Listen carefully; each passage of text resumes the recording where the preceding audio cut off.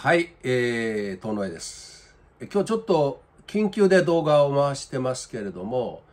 えー、岸田総理が突然の退陣表明です。えー、ちょっと各界に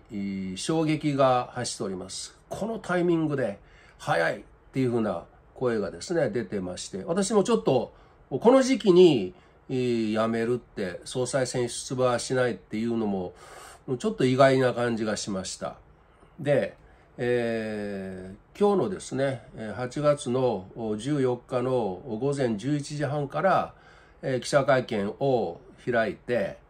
で、まあ、岸田首相が言うにはですね、もう何よりも今、自民党が信頼を回復して、新しい自民党になったということを国民に示す必要があると。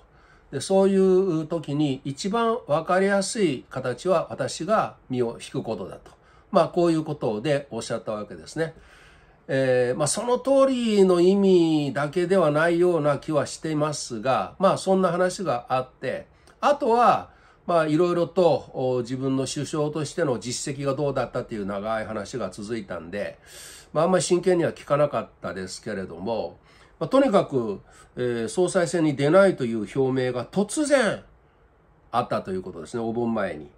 えー、まあ、なんか、いろいろと世界で、えー、びっくりすることがあどんどん起きますよね。トランプさんの暗殺未遂事件があって、バイデンさんが突然、えー、大統領選撤退を表明したり、まあなんか天変地異系のなんかアラームがいろいろと鳴っていたり、そしてまあ岸田首相の突然の退陣と、えー、乱気流の中に入っていることは間違いないんじゃないかと思います。で、えー、まあ、なぜ、えー、この時期に岸田首相が退陣したのか、まだいろんな説が出始めてるところなので、私も確定はできないですが、いち早くワシントンポストがですね、まあこの記録的な不支持率があったのが理由だろうと。えー、とにかくあの裏金問題でですね、えー、岸田首相派閥解消をしたんだけれども支持率が下がり続けて今15%ぐらいと。で30%を切ったらもう死に体になるとデッドラインと言われてるのに、まあ、はるかに記録的に支持率が低いからもうこれやめざるを得なかったんじゃないかと、まあ、こういうふうな話をして、えー、報道してますねアメリカからです。で、ただまあ岸田首相については、防衛費を増額させたり、あるいはアメリカと緊密に安全保障で協力したり、あるいは韓国との関係を改善させたのは、これは功績だというふうに言ってるんですけど、まあこれはまあバイデン首相の、バイデン大統領の、えー、言うなりに動いただけだというふうに見えてますので、まあなんか岸田さんアメリカに辞めるって相談してそれがなんかワシントン・ポストにも何らかの形でリークされて出たのかななんてこともちょっと考えたりはいたしました。でというのはですね岸田さんもっとこのいろいろと延命策を打つんじゃないかというふうに予想していたわけです。えー、例えば一つあり得る可能性としてはですねあの衆院解散ですね。で、今解散したら選挙に負けるんですけど、もう電撃訪朝して、北朝鮮に渡って、なんか残ってる拉致被害者を何人かでも連れて帰ってきたら、これで支持率がぐーっと上がって、上がったところで解散を打つと。えこういうふうな読みというのは実はありました。で、バイデン政権がこれに対してバックアップしてるというような情報も漏れ伝わっていたので、まあ、こういったことが画策されてるのかなと思ったんですけど、まあ、そうならなかったと。もう一つは、まあ、記録的に支持率が低いんですけど、やっぱり9月の総裁選になんとか出てきて、えー、延命の道を模索するんじゃないかと。えー、最後までなんかいろいろと粘るんじゃないかと思ってたんですけど、まあ、それもしなかったと。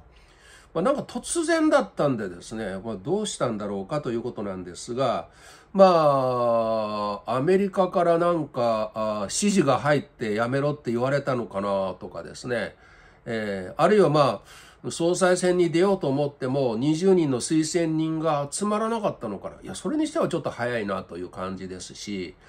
まあ、あ自民党の重鎮ですね、あの、麻生さんあたりに見限られて、まあ、これでもう行き筋なしと判断したのか、まあ、ちょっとまだわかりませんけれども、ちょっとなんか不自然なあ感じのする突然の退陣ではありました。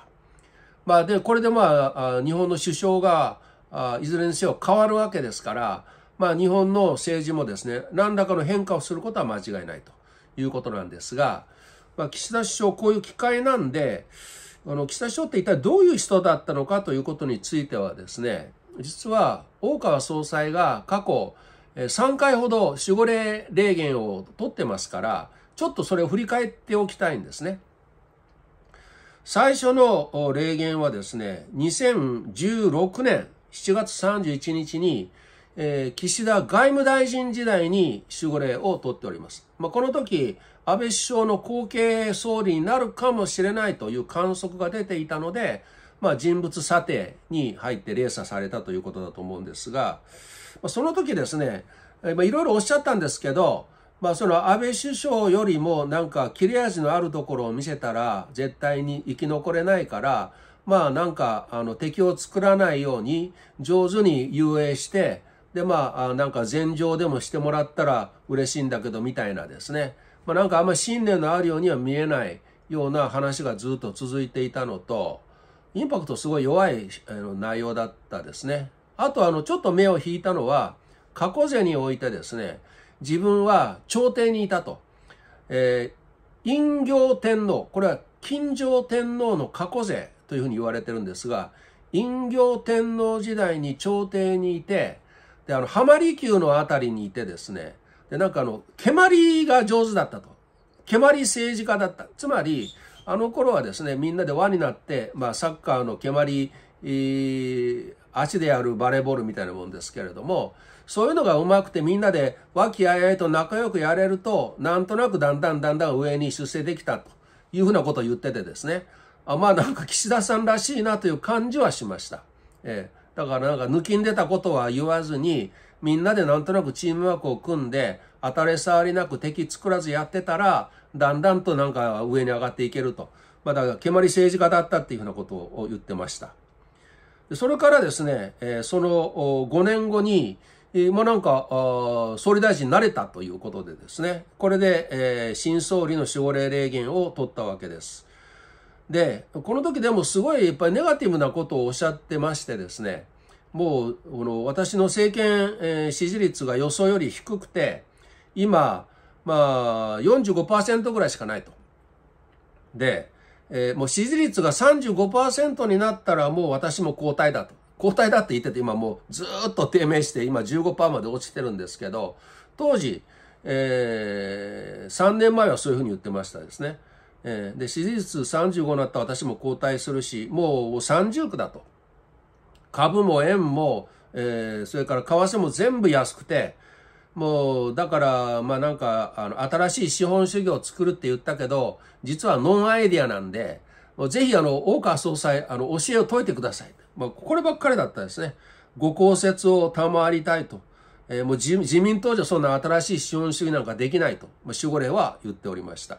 えー、だから、えー、まあ、大川総裁からいろんなあの本は出てるのは読んでると言ってましたね。資本主義の未来とか、あるいはコロナ不況にどう立ち向かうかとか、読んだけど、ようわからないと。だから、もっと具体的に、これはこうしなさいというふうなことを本にして書いてくださいというふうなことを、神だ、神頼みですっていうふうに言って、教えてください、教えてくださいって繰り返してましたね。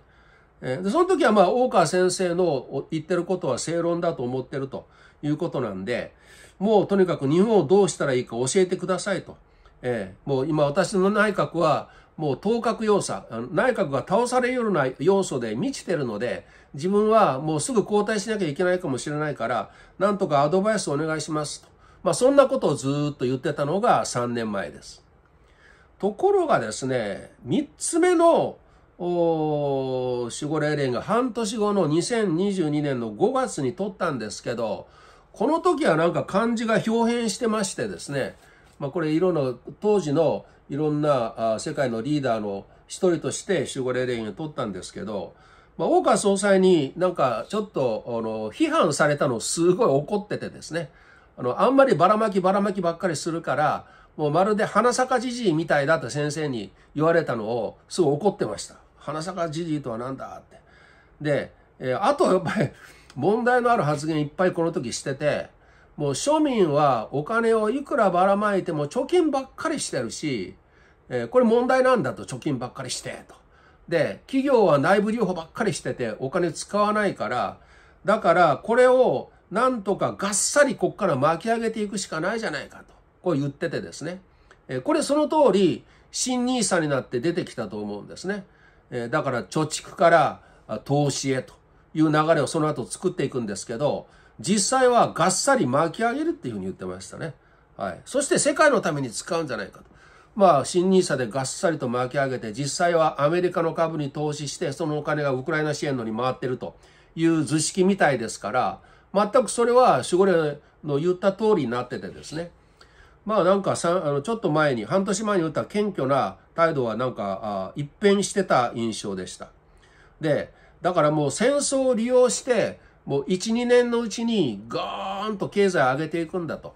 で、この日銀がいくらお札を吸っても、もう日銀が世界の基軸通貨になるんじゃないかって、なんかえらい強気なことを言ってて、だから日銀券、円をもう2倍でも4倍でも5倍 ,5 倍でも吸ってお金ジャブジャブにして、これを投資に回させて、これで世界にお金をばらまくことによって、まあ私が外交の岸田として世界に名を残したいんだと。なぜなら外務大臣時代は安倍総理にいいとこ全部持っていかれたから自分は内心じくじとしていたんだと。で、もう岸田誰？岸田風ってみんなに海外のリーダーから言われるから存在感を示すためにお金ばらまきたい、ばらまいて存在感を示すんだと。それは国民の貯蓄からがっさり持っていくんだと。まあ、こんなことを言ってましたよ。はい。えー、で、あとはまあ私はもうとにかく80歳のバイデンについていくだけですからと。言ってて、これもその通りになりましたよね。もうまるでバイデンさんの部下みたいな感じで、バイデンさんも岸田首相の肩に手を置いて、もう岸田は私の言う通りだみたいな、こんな関係でしたから、これはもう守護霊霊言の通りになったわけです。で、さらにはですね、ノームは広島ってすごくこう世界に発信されてるんですけど、守護霊の本音は、私はノームは広島と言ってるけれども、別にロシアがウクライナを核で攻撃しようが、逆にウクライナが世界から核兵器をもらってロシアを攻撃しようが、こんなの広島とか日本には関係ないから別にどうだっていいんだって言ってましたよ。ええまあそんな、あそんな人なのかなっていう感じがまあ明確になったのが2022年の5月の守護霊霊言だったんですね。だからまあそこから見てどう見てもこの信念がある政治家には全く見えなかったし、まあ、とにかく出世だけのことを考えてでなんか日本人的なあんまり出過ぎないように敵を作らないようにしながらだんだんと上に上がっていけたらいいんだと。で、まあ、どうせ自分は短命政権なんであとどうなろうと知ったこっちゃないみたいなニュアンスを随分感じたんですよね。まあ、だからまあ今回辞められてよかったんじゃないかなと。えー、あの本当に岸田さんのやってることですね、新 nisa にしても今回株すごい下落してみんなお金相当失ったと思いますけれども、まあそのお金でもう全部、さらにそれ以外にも、ウクライナ支援にどんどんどんどんすごい何兆円何十兆円って約束してきちゃって、全部我々の税金ですから、えー、こんな感じでやってたら本当に日本はですね、発展するどころか、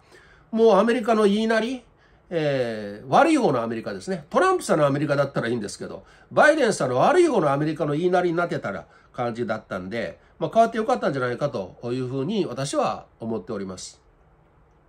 で、まあ、次の総裁が一体誰になるかがですね、今後の焦点になるので、これはまたですね、いろいろとこれからも私もウォッチングしていこうと思ってますけれども、